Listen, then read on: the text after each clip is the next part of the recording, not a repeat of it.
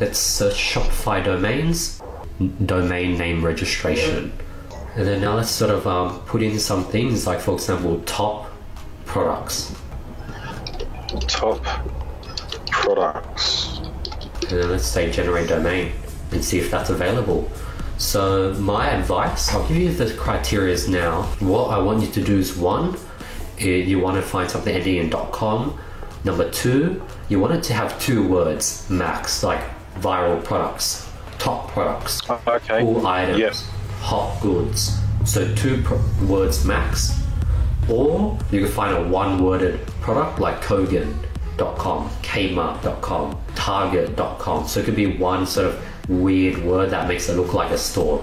So come up with a bunch of different names um, you, that are available for .com, and you could send it to me on Skype, and I'll help you pick the best one. And then once you find the best one, just purchase it through Shopify, and you'll be able to pretty easily link it up to your store.